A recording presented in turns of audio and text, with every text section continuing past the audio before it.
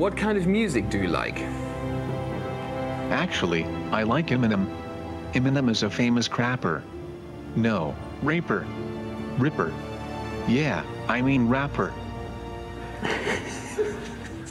The Bionic Man. he may be the world's first bionic man, but Frank still has a few things to learn from us humans. Still, he is pretty amazing. He stars in a new film, The Incredible Bionic Man, on the Smithsonian Channel. And this is Bertolt Meyer, the host of the documentary, a social psychologist at the University of Zurich, and an inspiration for Frank's creator. Good morning, Bertolt. Good morning, Vinnie. I can't help but notice you have a somewhat creepy twin next to you. Is he, he is meant to, in fact, look like you. His face was modeled after a 3D scan of mine, but I think it looks rather mortifying.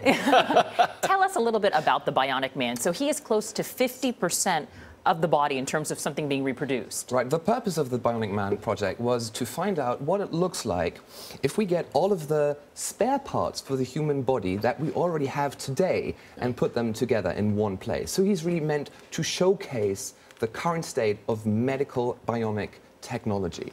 So we have retinal implants in his brain that pick up, well, if he had a brain, he would have a retinal implant that pick up the image from this tiny camera that is then transmitted directly into the person's brain, restoring a sense of vision to the blind. And this is not science fiction. This device has received FDA approval only two days ago and will wow. go into actual people.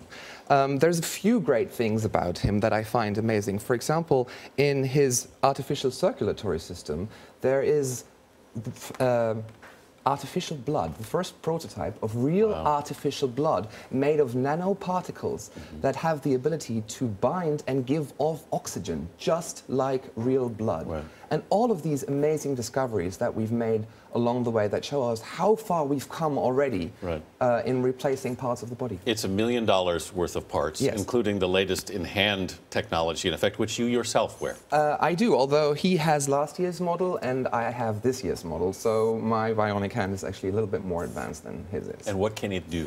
Well, it can move all of the fingers, which you might find not very special, but for a bionic hand that's actually controlled by the person wearing it, that is something very special. Mm -hmm. um, it has built-in pressure sensors so that the hand understands the shape of the object that you're holding. So when you hold the mobile phone like this, mm -hmm. the fingers sense the touch wow. of the phone and adapt the hand accordingly. And I can do something that you cannot do, and that is I can rotate, rotate the wrist hand. a full wow. 360. Wow. It's not very useful in everyday life, yeah. that feature. I call it the party trick, but it shows that potentially bionic limbs can do more things than their normal counterparts. As a social psychologist, I'm curious your take on the ethics of all of this, though, because it would seem you have a skill set that my natural hand can't do. Looking down the road, I mean, couldn't people theoretically say, I want a part that God didn't give me because it improves my ability to perform a task? Absolutely, and that is one of the core ethical questions that we're also touching upon in the program.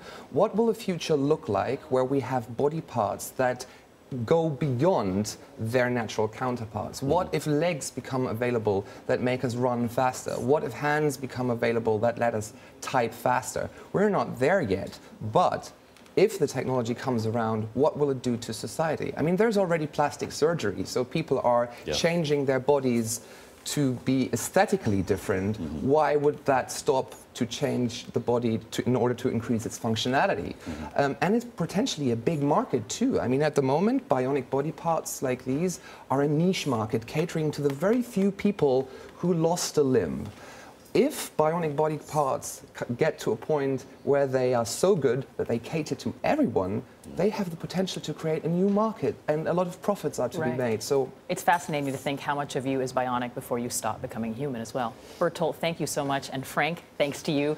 The Incredible Bionic Man premieres Sunday night on the Smithsonian Channel, which we should note is partnered with CBS-owned Showtime.